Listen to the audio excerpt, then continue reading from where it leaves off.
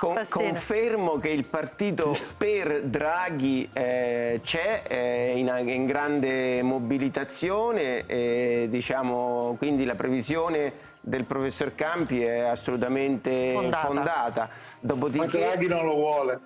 Ma no, no, ma non è di Draghi, è il partito per riportare Draghi alla presidenza del Consiglio dopo le elezioni, quindi Draghi non sarà in campo, Draghi Draghi ovviamente te ne sta fuori, eh, il lavoro sporco lo facciamo noi, poi diciamo, il partito punta a riportare Draghi alla presidenza del Consiglio dopo le elezioni, ma guardate dipenderà da quello che facciamo noi perché non è che ce la possiamo prendere con Draghi o, che, o con chi vuole Draghi, esatto. se noi come soggetti politici non siamo in grado di mettere in campo degli idee delle donne e degli uomini eh, di qualità è inevitabile che poi arriva qualcun altro, quindi il compito sta sulle nostre spalle e dovremmo essere in grado di affrontarlo.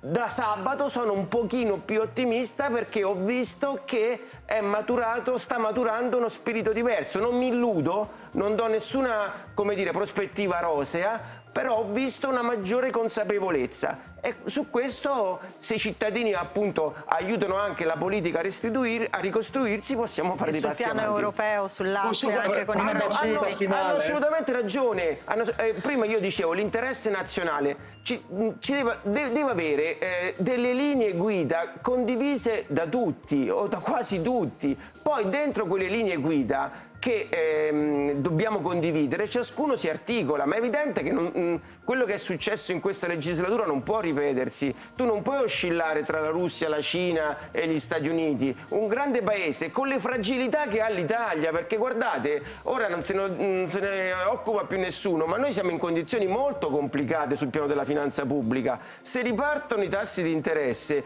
noi cappottiamo, quindi mm, abbiamo dei problemi molto seri e dobbiamo decidere qual è la nostra eh, via eh, che seguiamo come paese e poi la decliniamo in modo diverso, ma una classe dirigente, io su questo ho insistito anche eh, eh, per la nascita del governo Draghi e mi è spiaciuto che Fratelli d'Italia non abbia partecipato, perché il governo Draghi può essere un'occasione di riconoscimento reciproco e di individuazione di una linea condivisa sull'interesse nazionale, che non vuol dire che poi facciamo le ammucchiate, vuol dire che però abbiamo una rotta che, ripeto, poi articoliamo in modo diverso. Il governo Draghi poteva essere questo, l'elezione del Quirinale poteva essere questo, mi spiace che non lo è stato, perché poteva essere un grande momento di riconoscimento reciproco, mm. perché se, se, noi non facciamo questo arriverà sempre un tecnico a commissariare la politica. L'Italia ha questa straordinaria anomalia da Ciampi in poi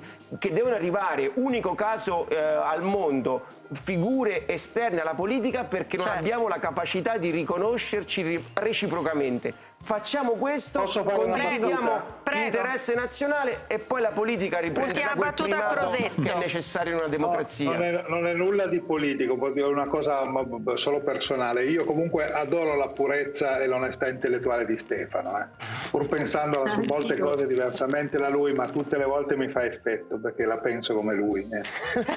è puro e onesto intellettualmente.